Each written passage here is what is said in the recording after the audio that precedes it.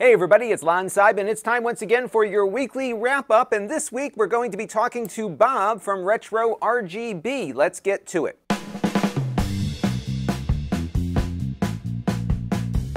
Now, if you're not familiar with RetroRGB.com, it is both a website and a YouTube channel.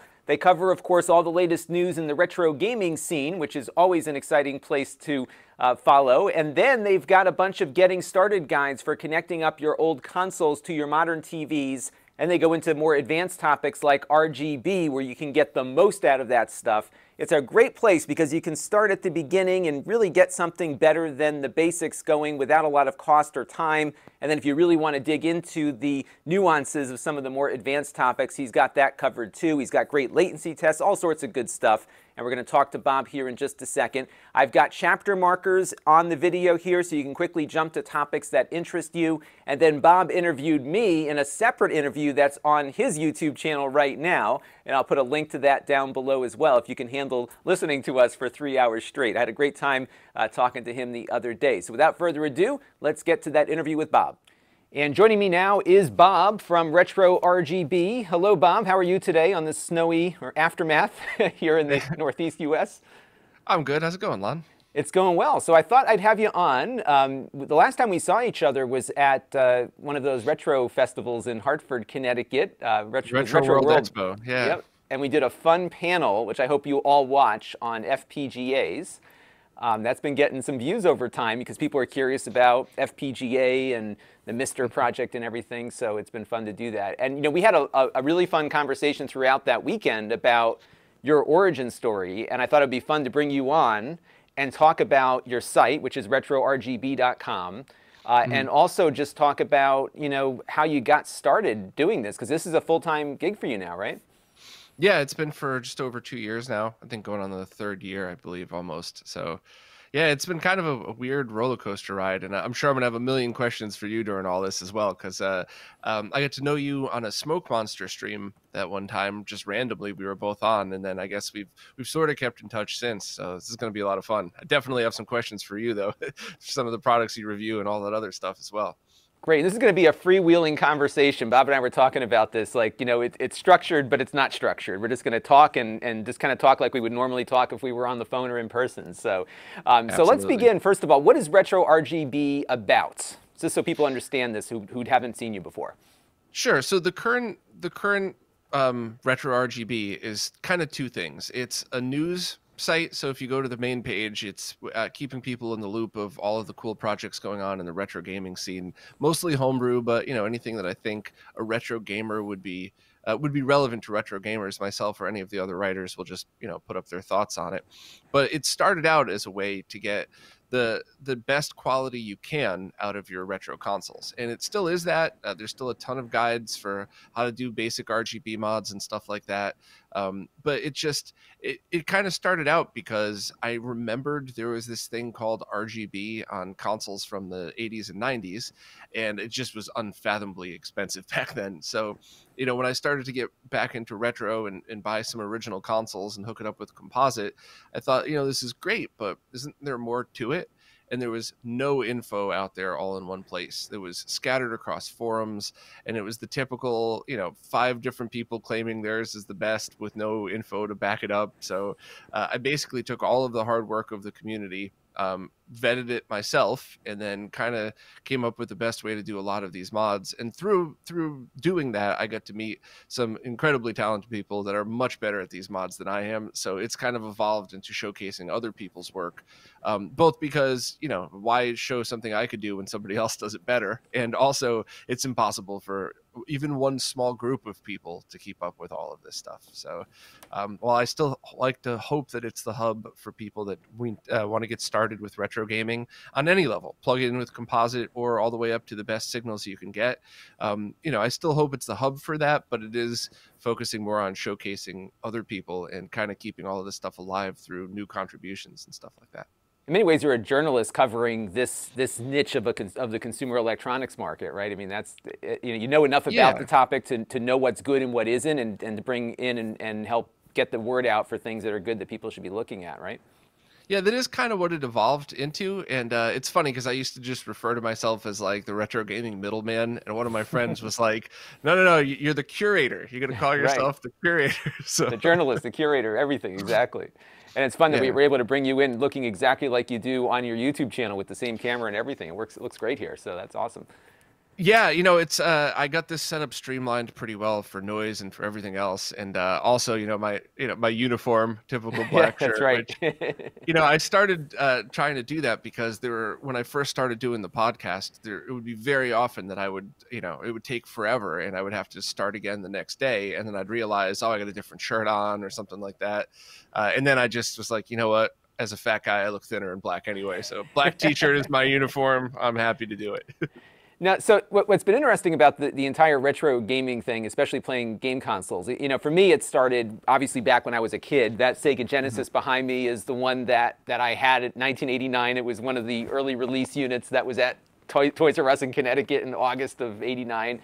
And, you know, I, I, played video games like every other kid did. I was not very good at them, but I just really loved video games and the hardware around it.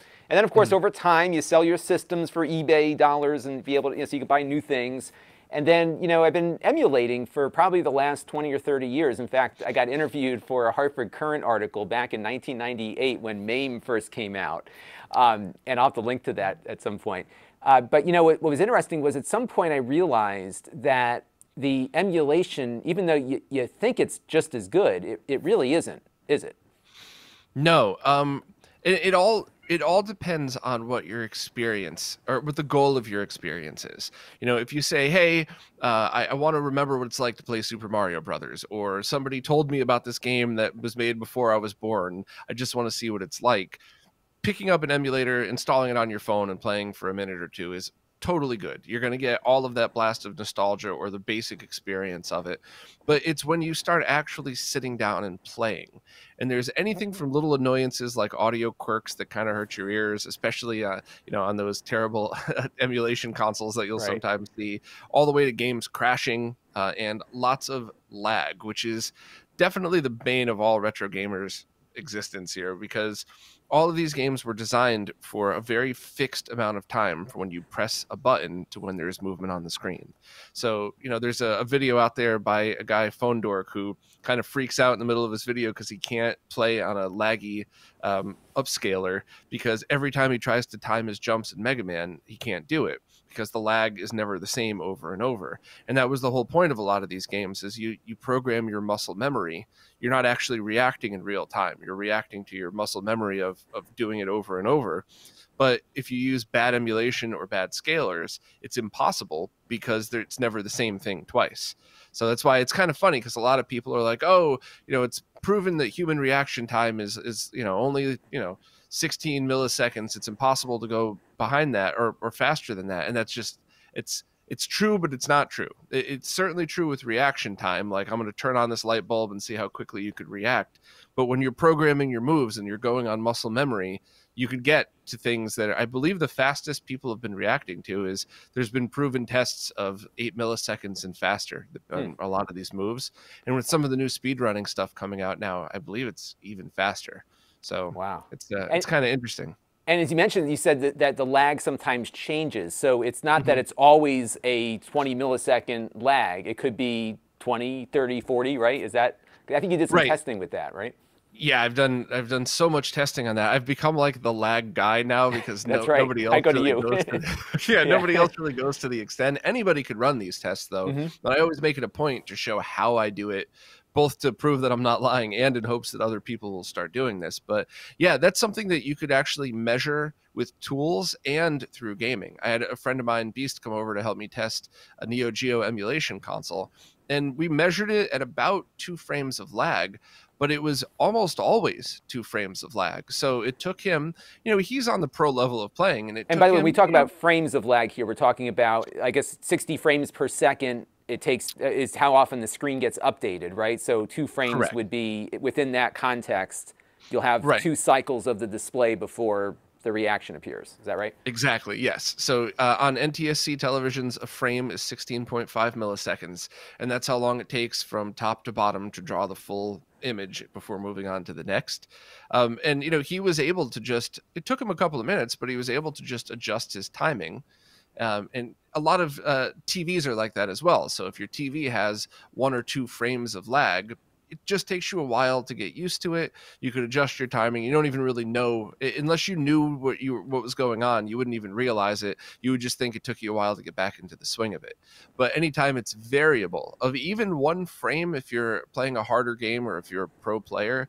Um, but a lot of these, a lot of the emulation solutions like the Genesis Mini and a lot of the very bad scalers that I hope no one's using anymore could range up to five frames of variable lag. Wow. So it's two to seven frames on some of these, and it just you know turn by turn RPGs, you'll never notice a difference. But huh. you know, Mega Man fighting games, right? Um, heck, even Super Mario Brothers running and timing your jumps. You know, it's just it's Makes impossible to get through them and have the same experience. And when we talk about those poor scalers, these are those those those HDMI scalers that you find on on Amazon or some other place where it just you plug in your composite and it gives you an HDMI output, right?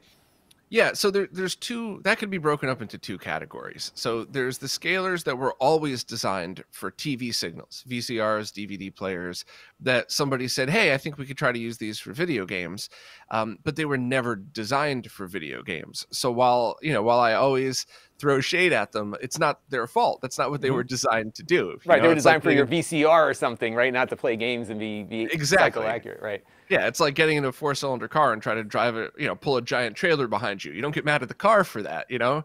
Uh, but unfortunately, there were some companies that have popped up that took those chips designed for TV signals and put them into things designed uh, or labeled as designed for gaming, but they perform really badly. And some of the stories behind how those started are actually incredibly shady. So I don't even want to tell them. I don't want to bring down the podcast. right, right, right, right. There's, there's, more than enough proof there's more to, to the story. That, it was very intentional that they just wanted a quick cash grab. And then once the chips are out there, it's a free for all. So the people who came next weren't so weren't so evil about it. But yeah, it's it's pretty awful to the point where if this wasn't an entertainment device, if it was a GPS or a thermometer, it would absolutely be pulled off the market. Like right. that that's how terribly they perform at what they're doing. Wow, but entertainment okay. devices, other than basic, you know, right, uh, no regulation, EMI regulations, really. mm-hmm. there's mm-hmm. nothing on it. So and and you know I've been watching on my Facebook feed lately, certainly during the pandemic, where people are locked down. You know they're grabbing their old Nintendo out of the closet that hasn't been booted up in years.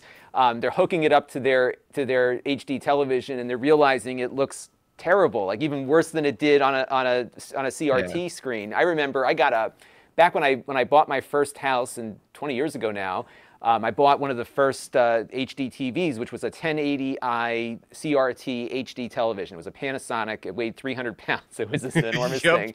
And I remember, I, remember I, you know, I was all excited. I get home, I plug in my my uh, my PlayStation or whatever it was I was using at that point in time, and it didn't look that great. I had to really work no. at the the settings to get the game to look as good as it did on the CRT that replaced it. So mm-hmm. if if I'm somebody that you know, has that old console and I want to use it again and I want to use it with my HD TV and all these scalers out there are of mixed quality, what do you recommend right now as the best solution for me to, to take that console out and put it on my HD television? Well, uh, that's uh, a good question. I, I, I, probably started out my last explanation wrong in that there are a bunch of bad scalers, but there's also a bunch of very good scalers by people who are designing it specifically for retro gaming and, and take all these things into account. And at the moment, the best entry level one is definitely any of the RetroTink products made by a guy named Mike Chi. Mm-hmm. And um, the cheapest one, I think, is the Mini. And you just stick in your composite and your S video right into it. And you don't have to worry.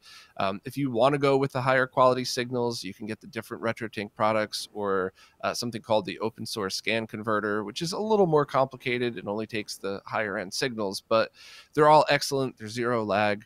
And uh, one of the things that I had learned that I actually I didn't I'd known, but I hadn't known to this extent is when the RetroTink Mini came out.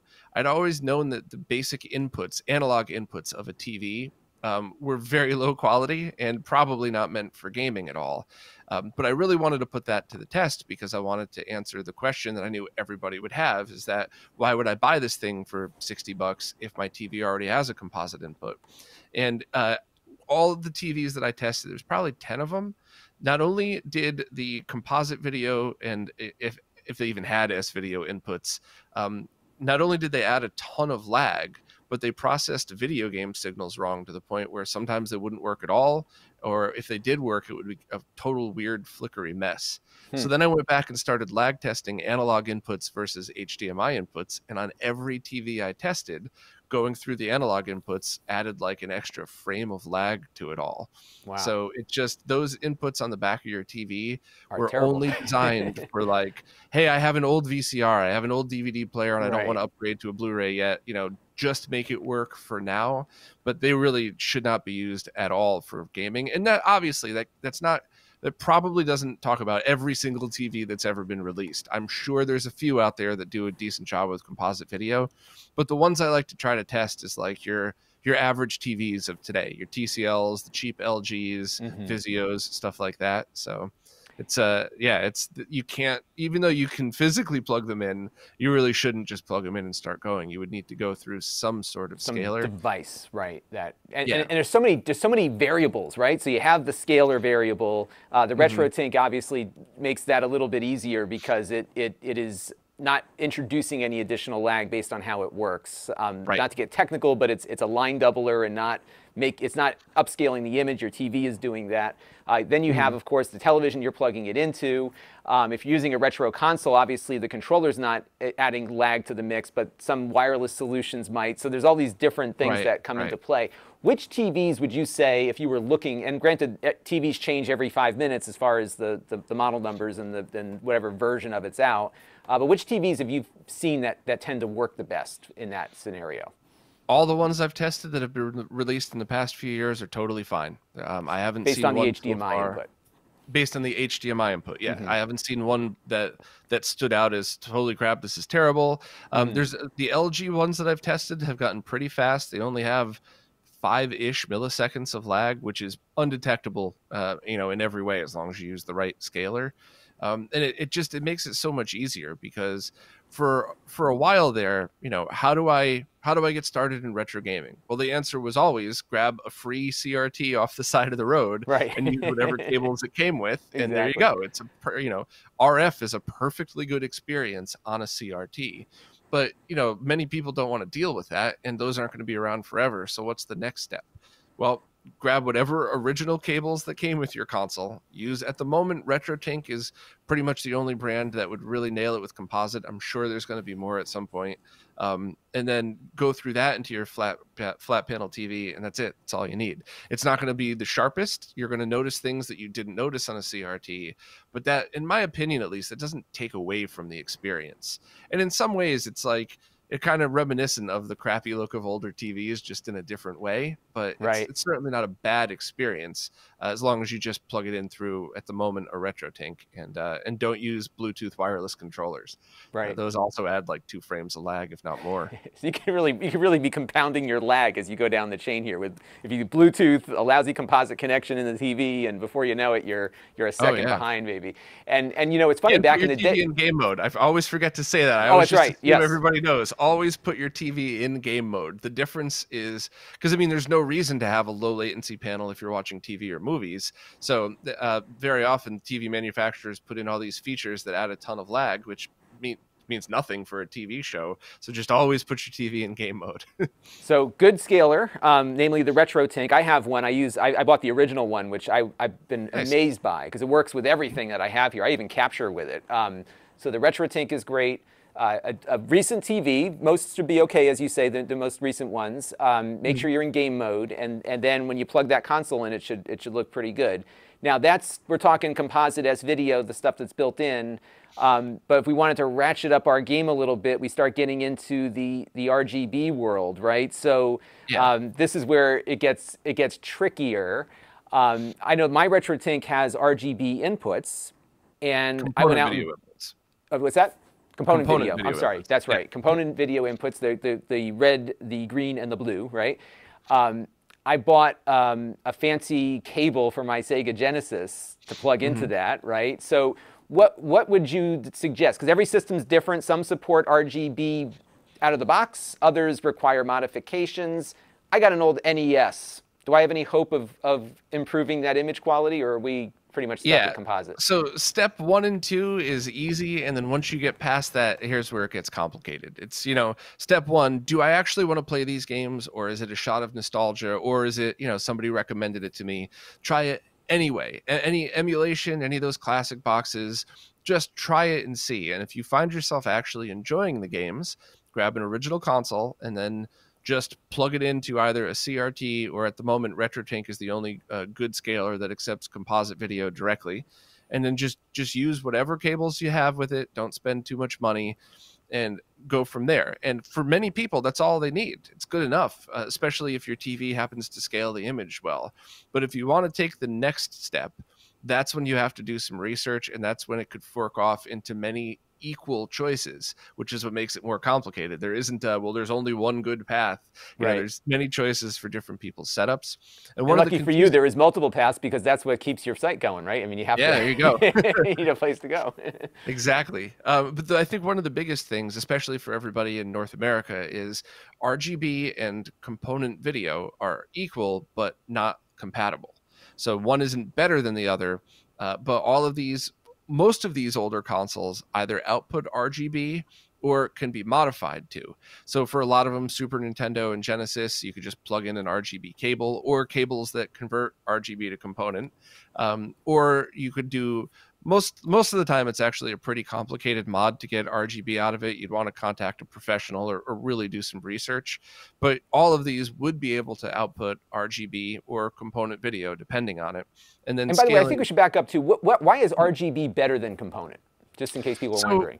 in the case of most of these consoles um, imagine i imagine your listeners would know the basics of a computer and a video card so imagine a video card inside of a computer and there's ones and zeros that are all making up you know the the image. And if you want to use your let's just say you know your vga output of it the first thing that that is converted to when it goes from digital to analog is four signals on these game consoles red green and blue with all of the brightness and color information isolated in each channel. And then um, either one or two depending on the computer or console channels that is the synchronization the, and for uh, gaming it's rgbs we just call it sync and that tells uh, the screen where to put everything that you're sending it to so having all of those together is the first way these signal is generated before it's been uh, compressed down to other formats, and that's why it is the best. Is because it's on these older consoles. Um, in the analog realm, uh, you know, the highest quality. There are definitely mods out there that take the digital signals on some of these consoles and go direct to HDMI, which is yet another really awesome option, all depending on what your goal is. And a lot of people that only want to play on flat, uh, flat panels will take something like an original Nintendo, uh, N64, original PlayStation, Dreamcast, and Xbox all have internal HDMI mods. And the GameCube actually has a plug and play one. You don't even need to mod it. You just plug it in and you can get direct digital HDMI. And then, So- then, then get out your soldering iron when you got to go and modify, though, right? That's that's where it gets. Yeah. That, that goes beyond perhaps what I could do, um, but th- there's people that could do that for you. I'm guessing, right? Yeah. So you know, going going that next step, you have to decide: do you want to use, uh, you know, CRTs or do you want to use flat panels? And then what type of CRTs? Really good consumer grade ones that you could just pick up and play, or do you want to find professional video monitors, which are things that were anywhere from five to fifty thousand dollars, all the way up into the you know mid two thousands, um, which is basically just the best CRTs ever made. So you get even with composite video, it looks better um, and what path you choose that's which cables you would want to go about what mods you want to go about using if you need a scaler or not.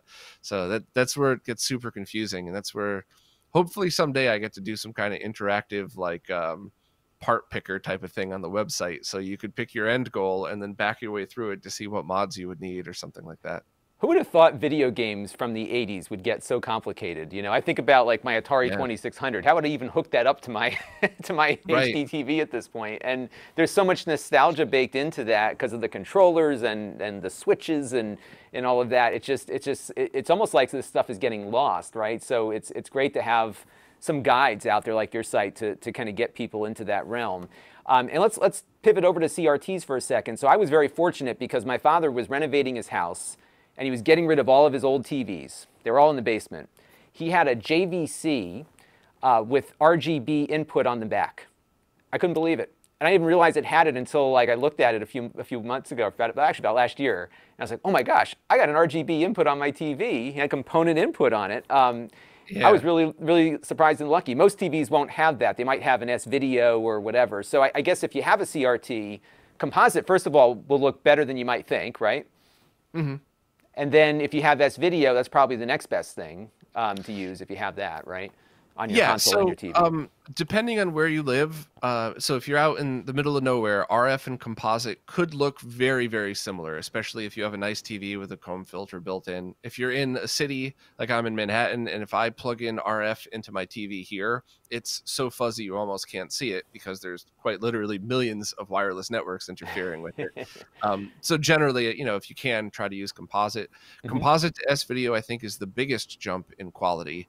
Um, which is kind of interesting because a lot of the games in the 16-bit era relied on the uh, messiness of composite video mm. to create some of their graphics. The blurriness so, that would that would kind of blend together and Exactly. So it makes solid objects transparent. You know, dots in the background actually blend together to look like clouds, stuff like that. So it's a trade off, right? You get so much sharper uh, of an image and clearer colors, but you don't get those weird and fun effects in it. And then RGB is definitely better than S video, but it's one of those things where depending on your display, you might not even notice. Um, so it, it's just a matter of how far you go. You know, if you're scaling to a 65 inch TV and you're, you know, you're using the best upscalers, you definitely would notice a difference, but not so much on CRTs. Um, so yeah, it's just kind of, kind of stepping your way up through each of them. And let's and move over funny, to you mentioned the JVC TV. Does mm-hmm. it happen to have uh, D series written on the top left of the bezel? I don't believe so. No. It's oh, just okay. like a more consumery kind of thing. And you know, it's interesting. It, it had like a real red tint to it uh, when I had even when I was I couldn't adjust the red out when I even when I was mm-hmm. on composite, you know. Common and then yeah, and, and I wanted to pivot to FPGA, and and and in, to pivot there, I think I'll talk about my MiSTer when I hooked up the MiSTer for the first time, uh, using an analog component cable that came out of the back of my MiSTer. Um, it suddenly looked beautiful like it just i couldn't believe how good the nes games looked. My light gun worked like it did back in the yeah. like all these things just started working better. I actually was able to hook up my um, my Analogue console. I have the nt uh, mini not the mm-hmm. noir but the nt mini and i was able to use that same cable on on that and it was amazing how good it looked. Like it just everything even though it was on a crt it just it didn't look super sharp. It looked like a crt but it looked so much better. So i think there's some real benefit to having an rgb input on a tv um, mm. There's probably some ways you could mod a TV to have it take a, an RGB component input. Not easy. Absolutely, but... it's incredibly dangerous because you have to mm-hmm. discharge the tube. Mm-hmm. Uh, and I always use the example like. I, am very comfortable telling people how to mod a Super Nintendo because the only way you're hurting yourself is if you do something stupid like try to mod it in the bathtub. But it's, it is not like that with CRTs. If you don't discharge the tube properly, uh, you will get zapped. Uh, and you know, how, how would you know if you don't have an existing heart issue? You know, the chances of death are not zero. Right. Whereas with a lot of the other stuff I talk about, you know, unless you do something very stupid, the chances of death are zero. So, right, right, because um, there's no there's no stored electricity in that NES game console when you when you take right. it apart when it's unplugged. um, right. So I have restored. I actually mm-hmm. restored mm-hmm. a JVC uh, consumer grade TV uh, mm-hmm. uh, with the component video inputs and back and everything because those a lot of those models were the same tubes used in some really high end arcade machines. Oh, really? So they do look pretty incredible. Um, but yeah, that was the one thing I was always nervous to do, and I'm still. I think the first time I got comfortable doing it, I discharged it. You know, you have basically a screwdriver that's grounded to uh, the ground plug in your wall, mm-hmm. and I discharged it, and I go to grab the anode cap to pull it off, and my friend Jose is there, who's much more of an expert, and he's like, "Wait, wait, wait, watch." And he hit it again, and there was still a little bit of a spark left in it. Oh, not wow. enough to seriously hurt me, but it would have scared right. the crap out of me. So. right. So it's a lot. It's it's not for the not for the faint of heart, first of all, and certainly for I think if you haven't worked on electronics before, you might want to maybe find one with with that component input first before. Yeah. So you don't uh, even have to worry about it. But yeah, uh, but yeah. I mean, you're right. Hooking those up to those old ones, uh, the MiSTer is an excellent excellent example because you could have outputs that none of the original consoles even came with, but it outputs in that high signal quality. And it's an open source project that's constantly being added to with some really amazing things going through it. So it's And we- definitely a good experience. And we did a whole hour and a half presentation on on the value of FPGA, but I guess in a nutshell, it, it, it kind of it kind of nails every issue that you might run into, right? It, it, it it's it's not very laggy, uh, even on HDMI. Is that correct? No, it's a zero lag on the analog outputs. And depending on how you have the settings at the moment, I think the most lag I've ever tested out of it was, uh, I think it was six milliseconds out of the HDMI. So for your average gamer, you could just think of that in your mind as zero, as a zero Right. lag experience, because there's, you know, there's no way to tell. And I think there was even, there's been even more refinements in that. So if you're playing it on a CRT like you are, it's, and the answer is it is measurable zero. There is no difference whatsoever, which is why things like light guns can work through certain adapters. Mhm. Um, and on the you know on the HDMI out, it's still low enough that you would absolutely never tell the difference from original hardware. Um, but I think the biggest the biggest things about having software emulation like or hardware emulation like FPGAs versus software emulation, um, you know, both of those things, the experience is going to depend on how well they're programmed and right. uh, and how accurate they are. hmm But with software emulation, you're always running a program written in a language that's run through an operating system that's being buffered on a video card. Whereas FPGA, it is just direct out, as if imagine like Terminator 2, and you know, imagine these chips turning into the original consoles. It's a really cheesy analogy, but it's you know, it's the basics of it. So even if you have a slightly buggy FPGA core, it might be a better experience overall because you don't have to worry about lag or crashes or any of that other stuff. So that's kind of why it's so important that we're moving along to that technology. Just because while they're still going to be tweaking and making things better, um, it could be the most accurate recreation. And I guess for me, what, what made sense with it, and I, first of all, I just love things that I can tinker on, and and the, the MiSTer is such a fun project because it's constantly changing. There's always new things to download. The community's been very good at making it easy to get those things updated, so that those update scripts, I, you know, I, I, my MiSTer is sitting over there. I haven't booted it up in about two or three weeks. I can guarantee you, it's going to be a, a, a you know, whole bunch of new stuff is going to be uh, delivered down to it for me. And what's been fun about it is that it can it, it's when you look at like a, a Raspberry Pi solution, which is another great fun way to start, I would say. Um, not perfect, right? But it's it's a fun way to start.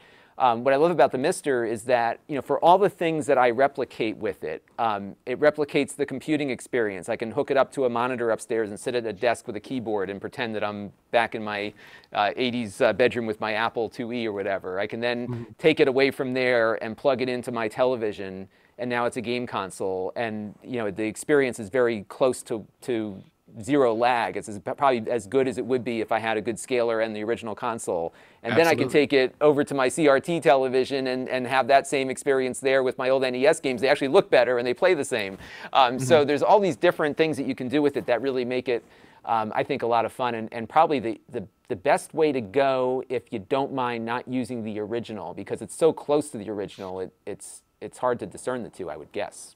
Is that Yeah, I, I couldn't agree more about that. And it's an open source project. There's a lot of great people in the community contributing to it. It's constantly evolving. And because it's written in FPGA language, it's not limited to this project. So let's just say 10 years from now, another, you know, another hardware board comes out and people want to port everything over.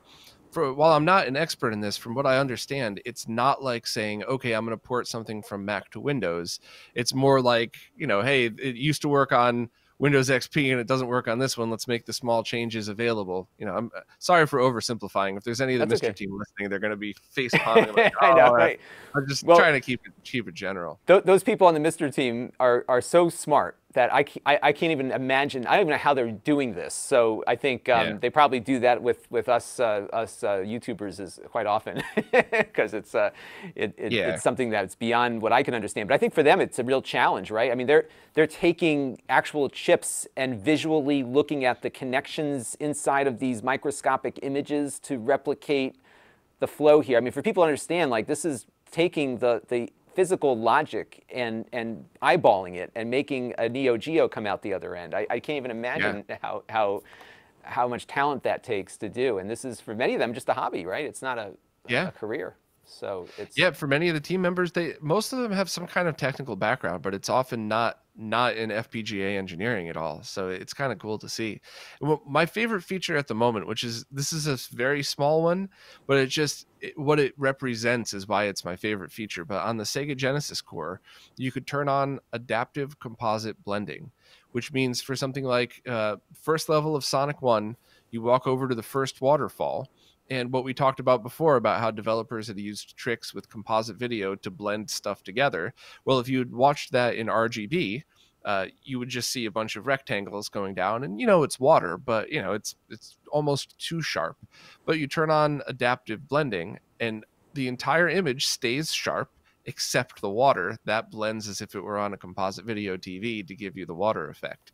So this is the reason that's my favorite feature is because that essentially is one of the first times you could confidently say that this experience is better than the original um, you know if you're looking for stuff like that. So it just goes to show what could possibly be in the future you know and what are you most excited about in the coming years here? Because there's been a lot that's happened over the last two or three years in this. I don't, I don't want to call it a hobby. I almost want to call it a, a community. Um, hmm. There's some really good things. There's some really bad things. Um, there's some people I think sometimes they bite off more than they can chew, and, and there's all these different dramas that happen throughout. But but there's clearly some things that you must be excited about as someone who covers this space for getting old consoles working again. We've got a whole generation of consoles. I think like the 3DO and the Sega Saturn and the Dreamcast that obviously are too complicated for FPGA. So so these types of, of hardware and software solutions are still important. What are you excited about? Like, what's left to do?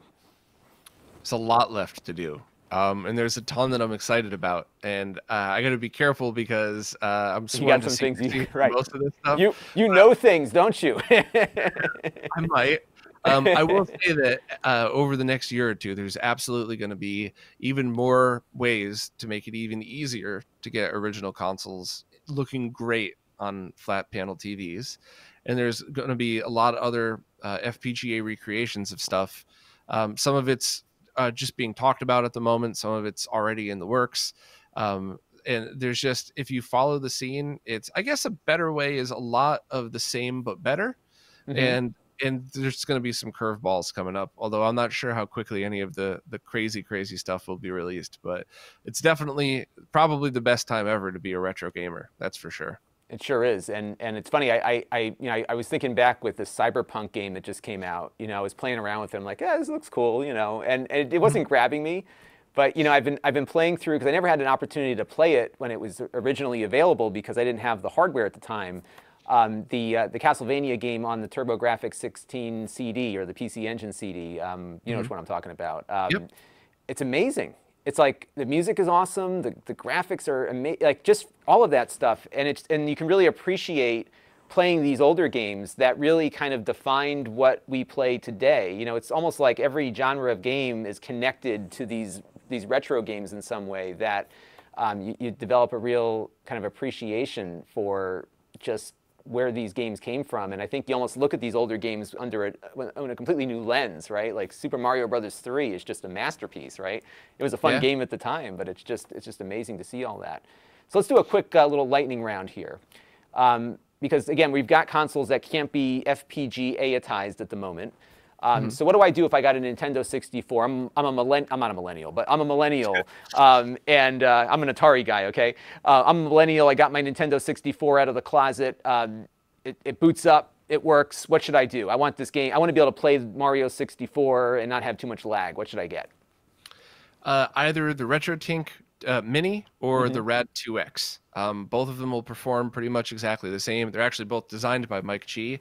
Uh, if you already have the original cables, um, or, or, if you, uh, especially if you're in North America, I think the Mini even comes with an S video cable.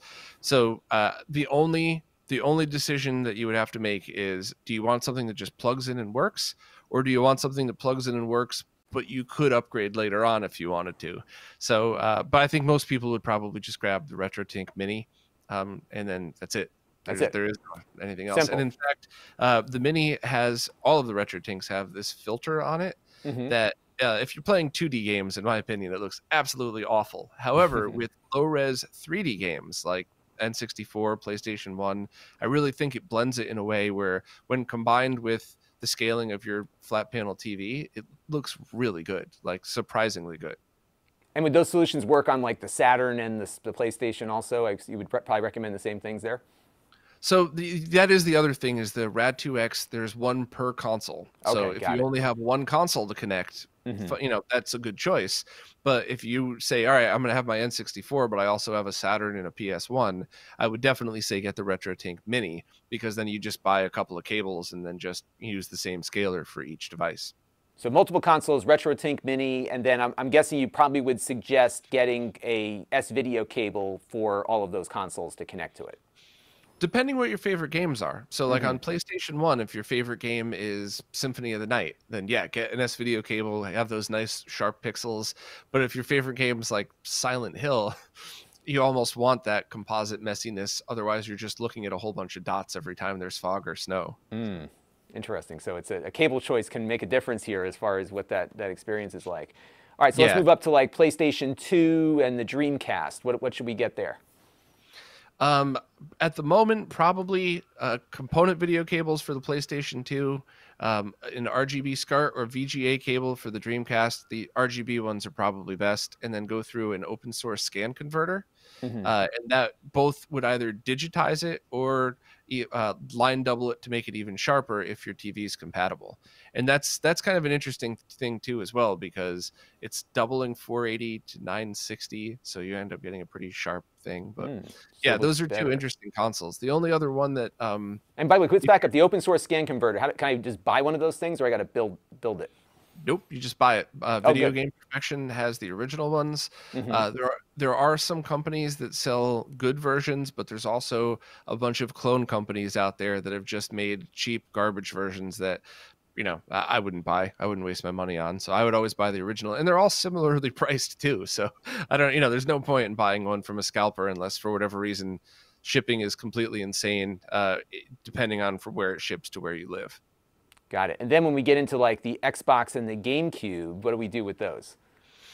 At that point, um, as long as you're running it in 480p, uh, mm-hmm. all you would need is some kind of well for the xbox all you would need is some way to get that to hdmi just to ensure that you don't have to deal with tv's bad analog inputs like we talked about before mm-hmm. Um, but there are certain devices out there that are plug and play. There's an ad- adapter from Chimeric Systems that's, that's really good.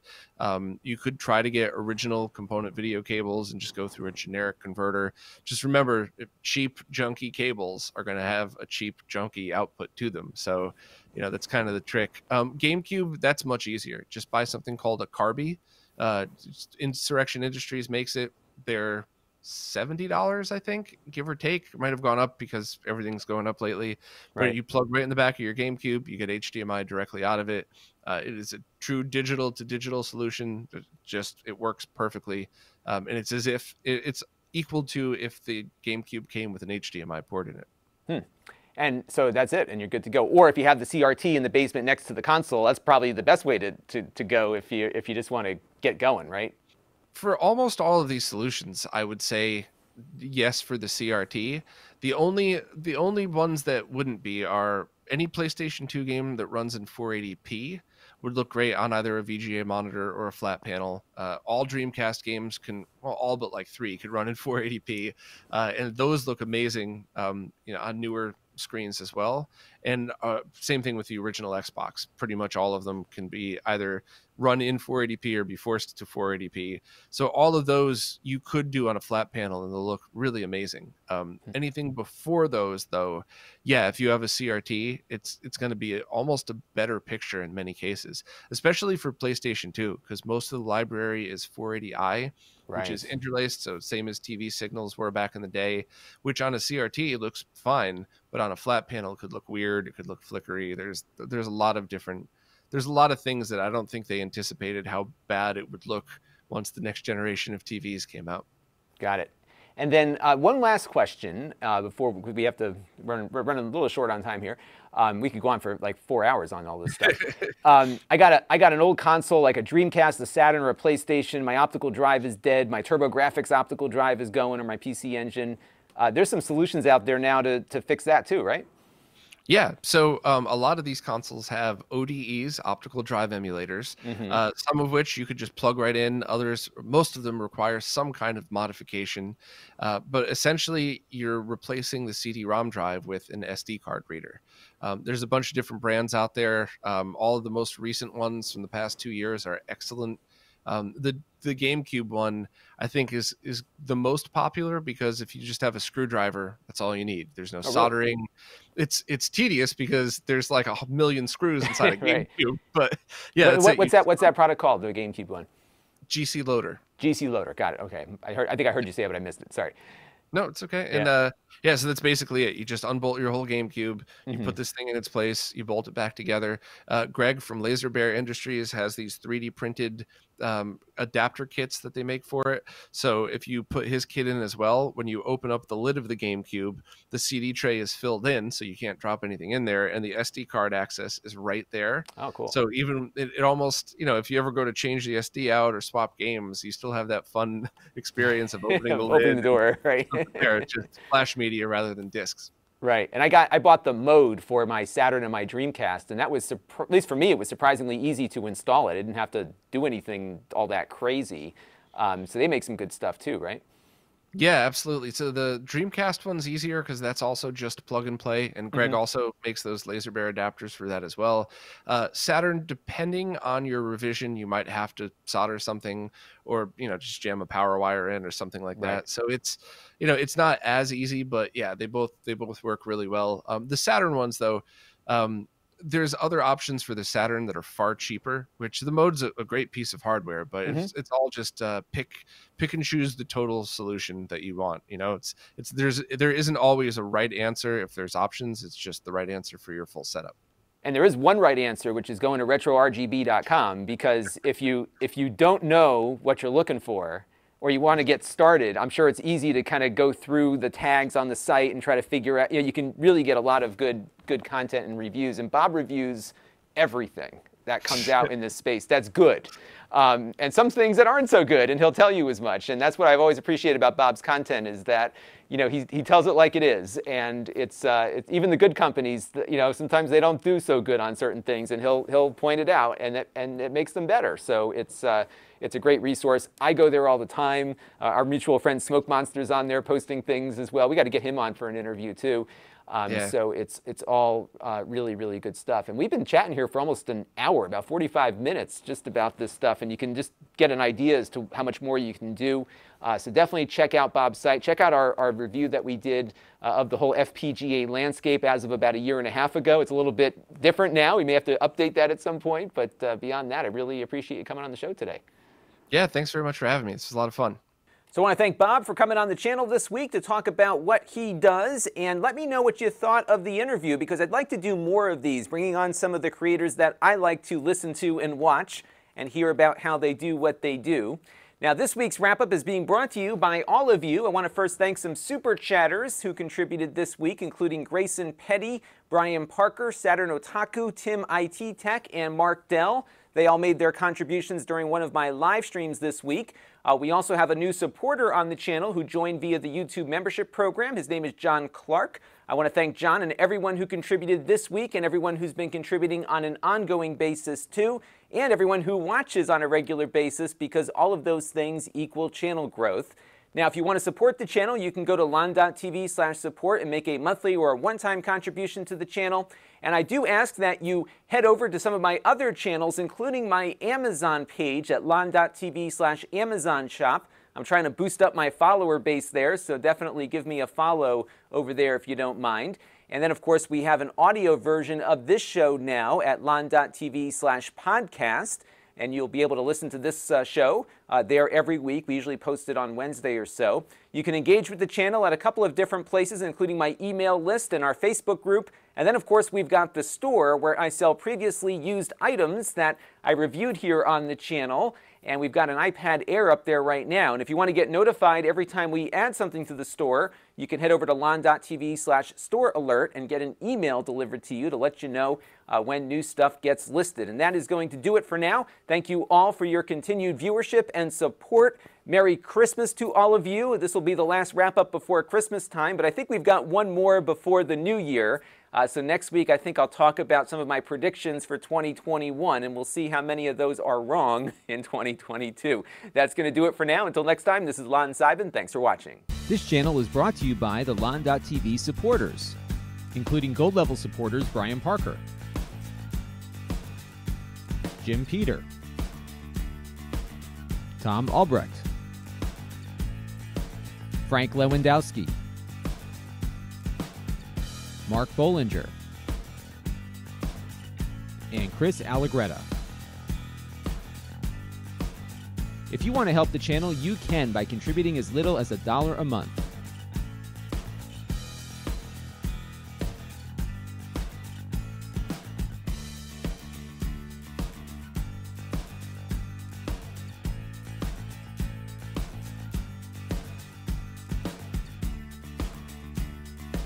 Head over to lon.tv slash support to learn more.